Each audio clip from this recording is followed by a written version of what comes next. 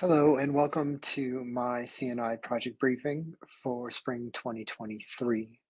My name is Jason Clark. I'm the lead for research optimization, analytics, and data services at Montana State University Library. You can see my slide. I'm, I'm going to talk a bit about artificial intelligence and data science and how we start to introduce those uh, emerging technologies to our organizations. The title of this presentation is You Autocomplete Me, Navigating Human Machine Relationships for Responsible and Sustainable AI and Data Science Implementations. A word about where I'll, you know, kind of how, what outline I'll follow as I move forward. Um, talk a little bit about research motivation. Um, where we um, have opportunities to create dialogues around artificial intelligence and knowledge work. In particular, I'm going to point at a number of uh, artificial intelligence and data science prototypes that we use locally to facilitate some of these dialogues. I'll look at organizational learning opportunities and competence. How do you build comfort and familiarity with uh, AI and data science. And then I'll make a note of various challenges, research, research implica implications, and potential next steps with parts of this, this work. So in terms of motivation, um, I'm on a team uh, with Sara Mannheimer, who is our data li librarian and a project director for the Responsible AI tools for values driven AI in libraries and archives. Uh, um, IMLS, Institute of Museum and Library Services project that was uh, awarded in the um, summer of this year. So this is early early stages with with that particular project. Um, Sara has always been stressing uh, as we think about artificial intelligence in GLAM institutions or libraries or archives, um, thinking about how do we support the responsible use of this new technology? Um, and giving us a sense or focusing on empowering practitioners uh, finding their role finding how we might think about implement ethical implementations of this technology. So parts of this idea really begin with uh, my involvement on the grant with sara but there's another component uh, that I've just been kind of, I've been seeing, acknowledging, and sort of feeling myself um, around general, I wouldn't say, uh, obviously excitement. Um, I think there's some real potential within a lot of these technologies. Um, but I, I also sense a little bit of just uh, uh anxiety um, just general, like, what does this mean for us? How do we, do we have a role here? Um, and so you'll see comments like this and, and um, the, the F word, the fear um, is the one that I sort of key on a little bit, just, just to kind of understand um, there is a role, um, but there, there is something, there's a bigger question here for, for a number of us. Uh, this is from a quote from the uh, Archives, Access, and Artificial Intelligence uh, book. Um, was released, I believe, 2022. So, in our setting, um, I'm I've been wanting to kind of connect the the grant work, uh, the research to practical implementations in the library and create some discussions around artificial intelligence and how it might apply to knowledge work. So one of the first things we did or uh, that we looked to do um, was to connect um, our staff um, to the possibilities around this work. And part of that was facilitating dialogues. Uh, these dialogues are open, um, invites go across the organization. Usually they are uh, framed with a demo, a particular demo of AI or data science. Um, and then a primary concept. And because this is an evolving stream uh, uh, of research, but also the technology is evolving quickly, um, we focus on a series of discussions, something that we can kind of come back to over the course of the year. Um, what I have on the screen is an example of one of the first invites, um, just so you can kind of see how we set expectations. Um, we were pretty clear in uh, introducing, when we introduced this concept, saying it's okay if you just want to come and watch. Um, there'll be some of us who are ready to talk through what we're seeing, and we do need a leader or facilitator. That is usually me. Um, in this case, we had a primary concept of uh, just the larger language models and, and ver- the various generative computing models that are um, being seen in things like Chat GPT, uh, that product from OpenAI that's got a lot of, uh, it's been in the news uh, a bit lately. I hope you can kind of get, you can kind of see that tone, and these slides will be available. Um, but the the first part of this is creating a comfortable place to have a discussion, to ask questions, right? Um, to to sort of be like puzzled by this technology. So the dialogues are centered on trust, truth telling. I had a different word there, I didn't use it, and interest in shared learning. Like there's a general sense of like these are open, pop in, um, but we want you to be uh, interested in learning learning more. Um, so the other component of, the, of these discussions, and I kind of mentioned the the you know framing, creating, keeping it open, bringing a number of all levels of the organization, making it open. Um, one of the other things we do in these sessions is come up with it's usually some kind of prototype or concept um, concept that's demonstrated by a pro, an existing prototype. Could be either or. Um, in the past, we've used things like an image classifier to to work through inclusive metadata discussions, like what's lost when this model isn't informed or supervised. Uh, other things like how do you talk to a machine? So like voice interfaces. Um, how might you uh, automate or um, kind of create a chat agent that that helps with web archiving or something like that. Uh, and then I've presented on with Leila Sterman on general text summarization, natural language processing we've done to create accessible citizen science. so all, all of those prototypes exist locally, um, but sometimes um, if something is sort of out of scope or something we haven't really done locally, uh, we might turn outside. Uh, but as we frame these sessions, along with learning, open, fun, um, tr- trusting your questions, being able to be puzzled. So all of this is uh, the the demos we we use.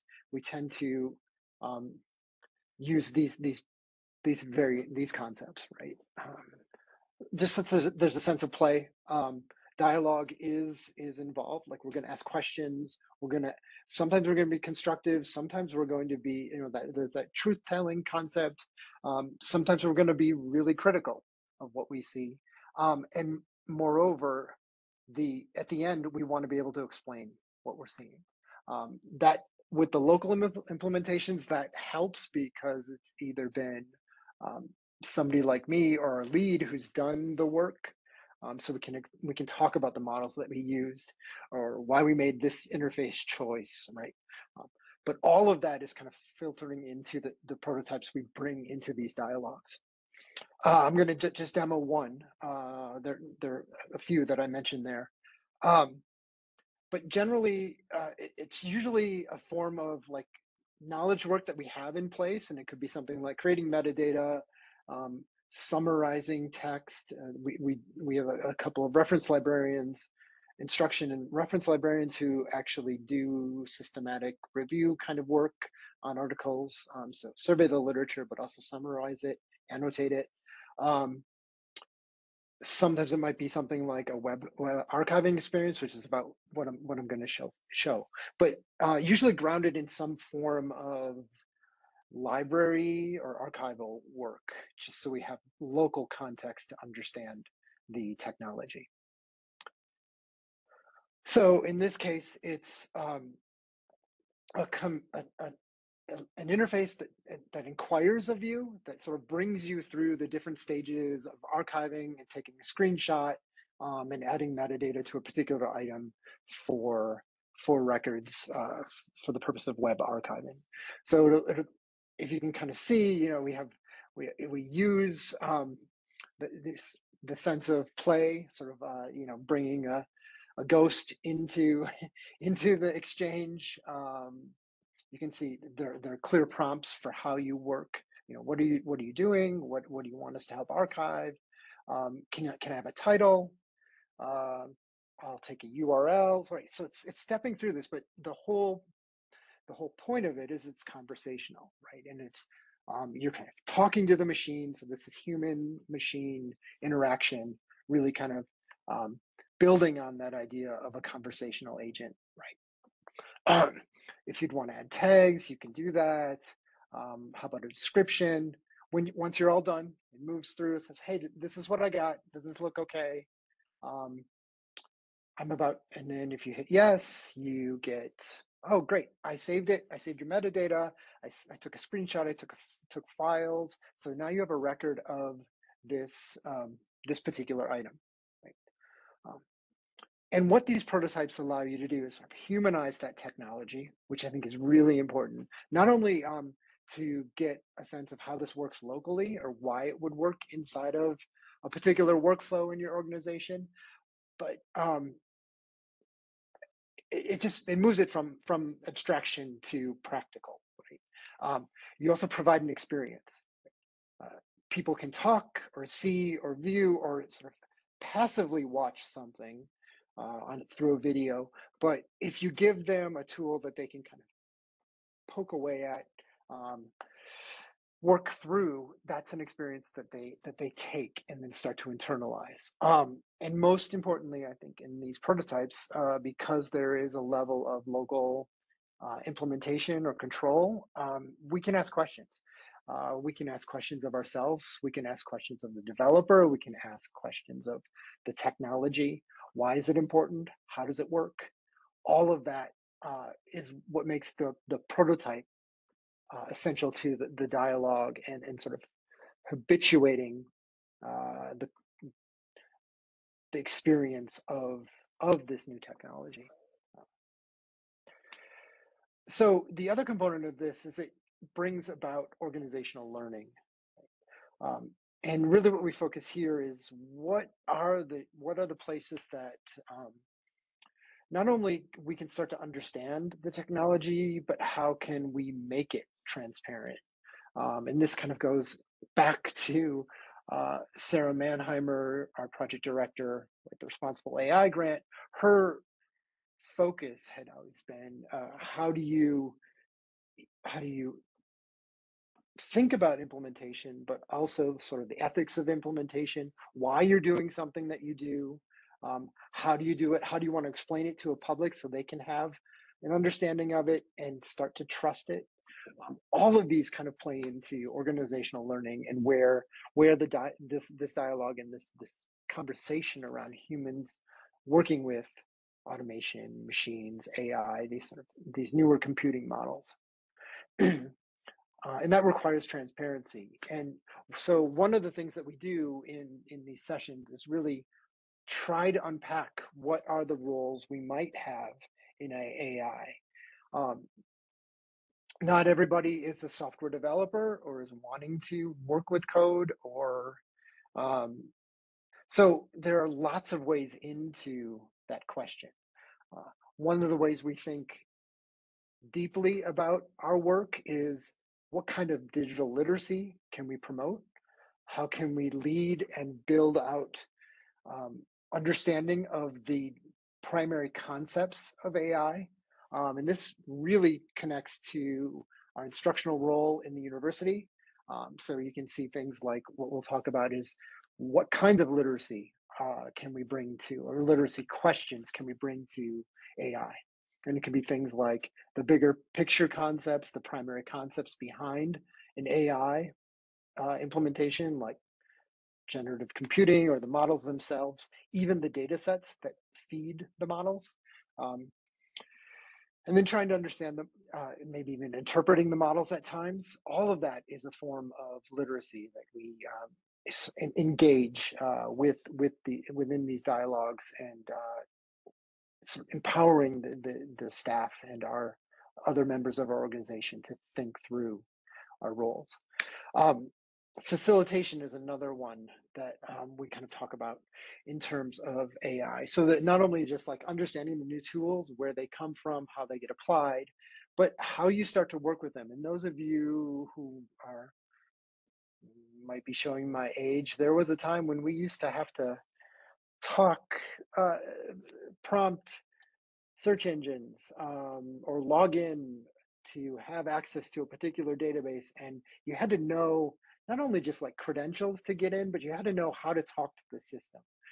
We're in another one of those moments with AI where we talk about prompt engineering. Like, how do you not only understand the model, but how do you talk to it so that you can get new information or the information you want from that model?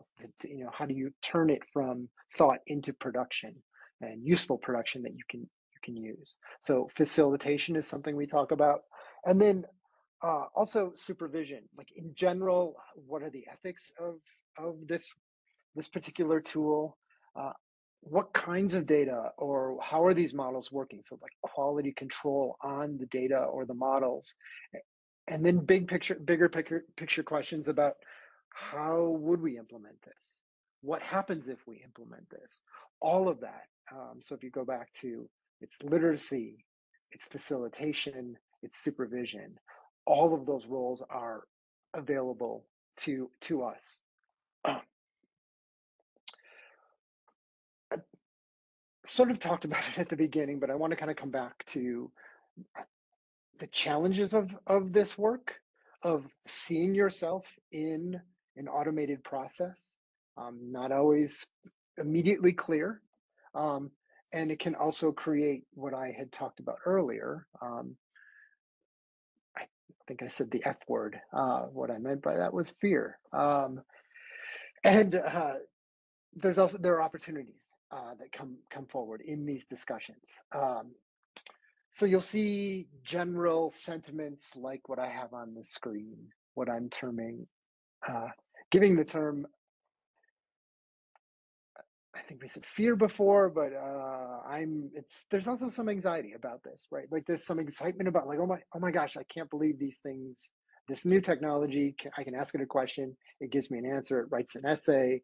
That's in in particular when we're talking about Chat GPT, which is on on the screen. But there are other ways that like general natural language processing, text summarization, other things that we've done. You saw the the example of the chatbot as well. Um, but uh, what I would what I would call some level of existential anxiety, um, just like how do I fit in now? What does this mean for me? Uh, and in order to to have this discussion, we need to be real with each other and trust each other. So there is a component of the dialogues that's what is this? You know, how does this work? Why would this work for me? How does this help our organization? What does it mean for me? Like it's okay to ask that question.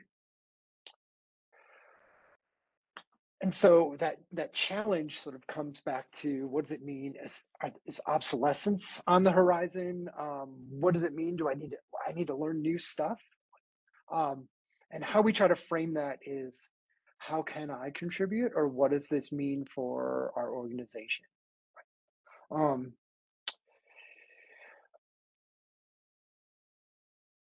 pausing here uh, the, what this does is it creates trust like it, if you're real about um, what you're seeing and how it might change a role or require new skills that opens that starts to open the door to oh okay i can see where we go from here.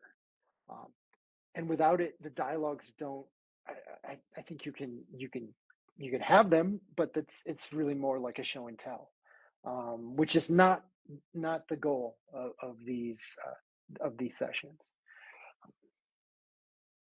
So along with that challenge, there's this bigger opportunity, and what we start to see in these sessions is um, not only a sense of oh like this this this could lead somewhere and sort of optimism building out um, but also a way to communicate new internal partnerships. So I mentioned the instruction and reference librarians who've been doing reviews for faculty or summarizing, um, annotating, doing annotated bibliographies or that kind of work for grant teams or uh, other other uh, entities on campus.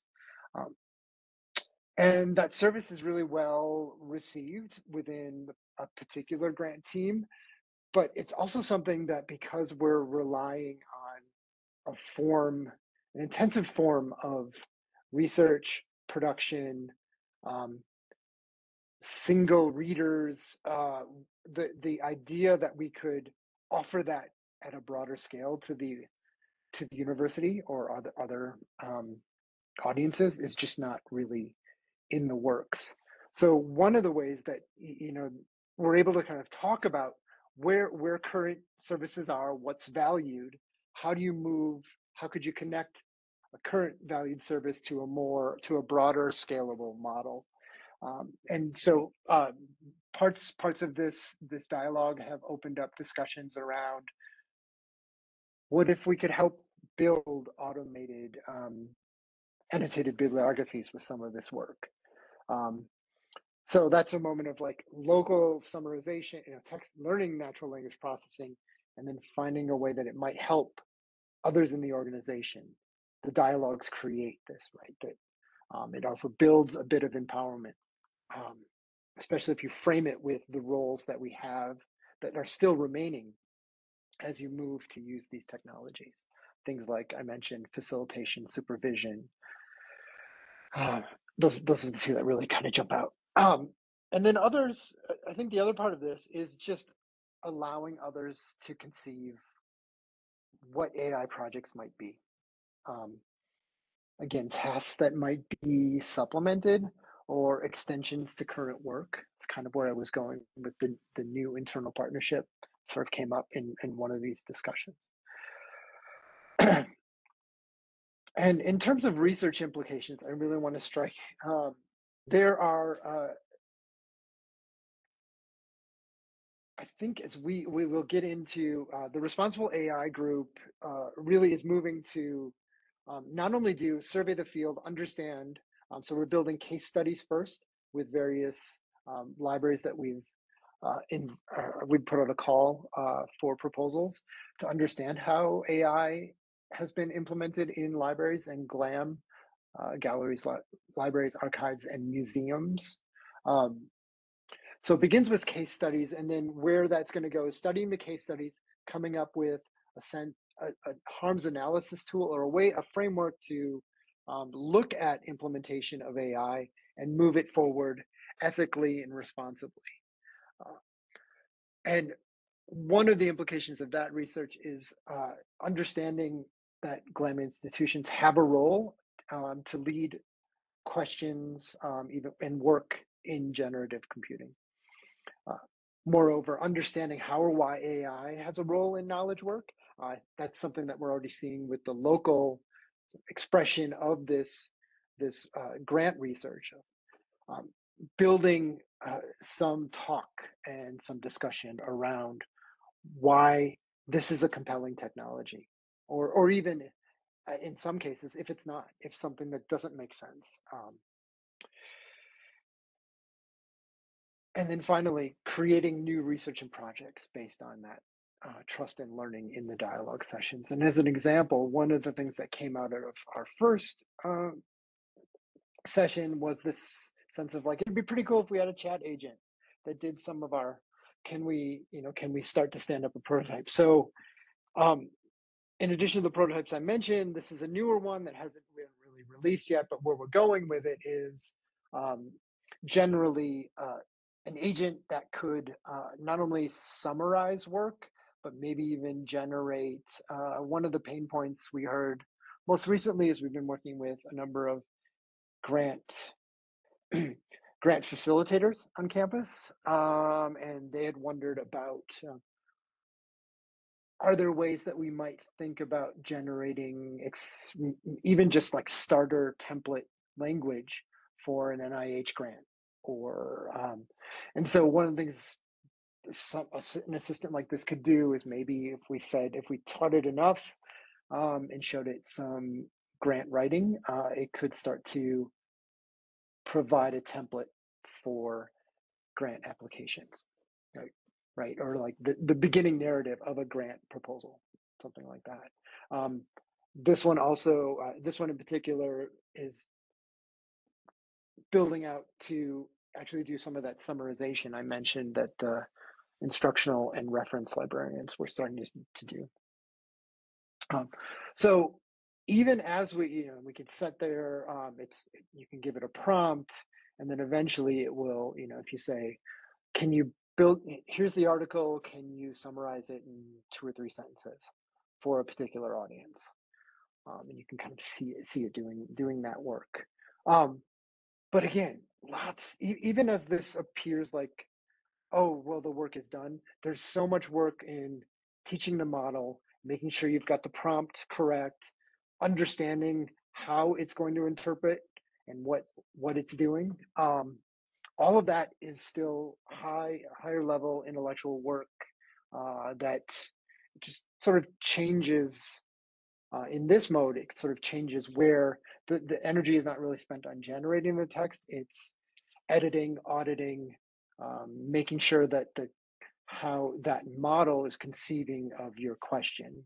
Um, is it doing it correctly? That's where the work is in, in this moment. So, um, but encouraging, encouraging to see how these dialogues create um, not only new ideas, but also um, people wanting to engage in this. And even since we had our last, I'll leave I'll leave with kind of close with one one one thought. Um, people have been experimenting with um, having fun with some of this this work, and I think there were a number of uh, so some staff create closing reports, um, you know, small narratives for end of night um, emails or just like um, updates, uh, and they've been running that through with a particular, you know, asking particular, uh, whether it's Chat GPT or some of the other other models like uh, Cohere AI or um, there are a number of companies. They just keep uh, they are um, very popular right now. Um, but what what's happening is they're actually using these to give some personality to the um, uh, their email reports on what happened in the day or the night. You know, it's like, can you write this? Uh, as Jeffrey Lebowski from The Big Lebowski, you know, give me, you know, giving the prompt and then watching that come out and then sharing that, um, just to just to show how this uh, the the group is generally starting to engage and sometimes critical, sometimes having fun, um, but all all through this learning how to how to prompt the system and how to move and use these technologies. So in closing and thinking about where what does it mean I, I would start with the top of of the title here just of, of the slide How, establishing our role in ai and knowledge work um, the things i'm saying on the slide are you know we are part of that ai and research and learning process but also demonstrating how to apply that to university research and institutional data questions. Um, you could see me starting to kind of think that way as i talked about the grant writing template proposal you know is there a way to to to think through generating text like that that could give researchers a, a lead so they're not looking at um, a blank a blank piece of uh, a blank screen and a, a flashing cursor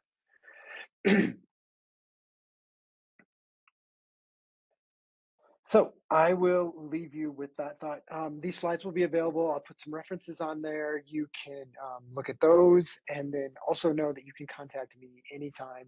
Uh, we are just getting started with the grant work um, and you can see how that grant work is filtering into organizational work. And I'm always happy to talk about this. So please reach out if you have any questions. Thank you.